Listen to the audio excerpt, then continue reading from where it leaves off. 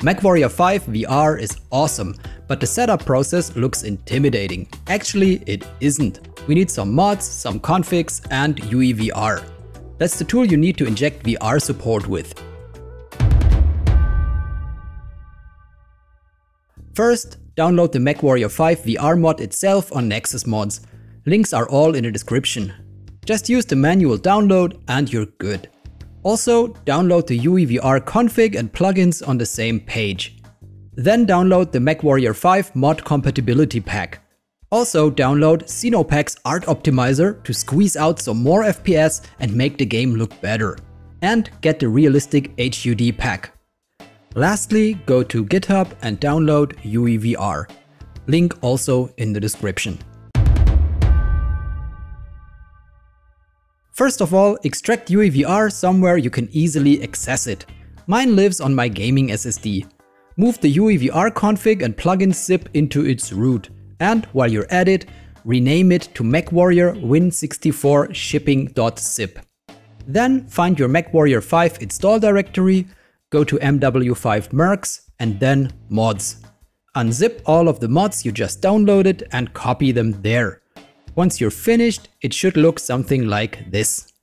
Now go into the Xenopax art optimization folder, open mod.json with any editor and set the default load order to 1. This makes sure it loads after the mod compatibility pack. Every mod has this file, so you can change every mod's order here. Now launch MechWarrior 5 clean without any command line parameters. Then enable the mods and check their load order. If it doesn't look like what you see here, go back to your mods folder and edit the JSON files accordingly. But by default, things should be fine. Now we need to change some settings. First of all, go to Options and Display.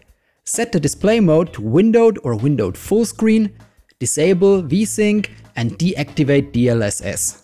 Then go to graphics and set all of the graphics settings to low, no matter what kind of GPU you have. Yes, even with a 5090. Textures can stay at maximum though. Also make sure ray tracing is disabled. It's not very useful in MechWarrior 5 and just eats up performance like crazy. Now exit the game again.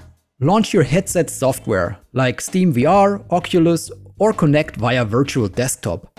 Launch UEVR as an administrator then launch MechWarrior 5.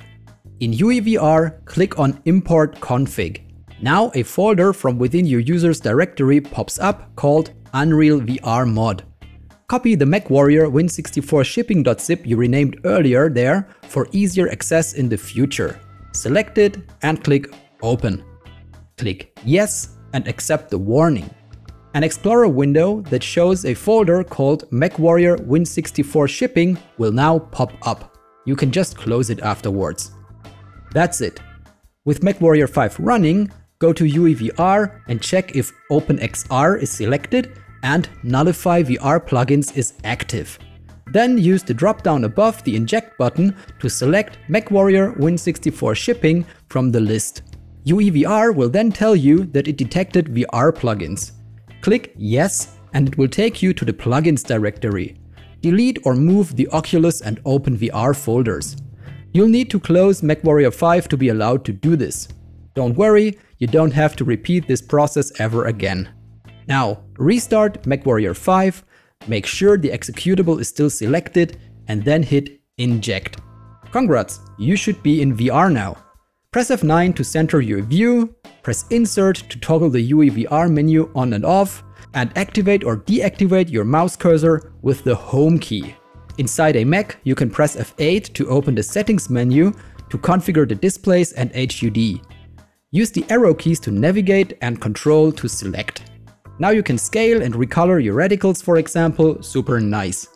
In the future, you can just launch your VR software, MechWarrior 5 and UEVR, select the executable and press inject. That's it.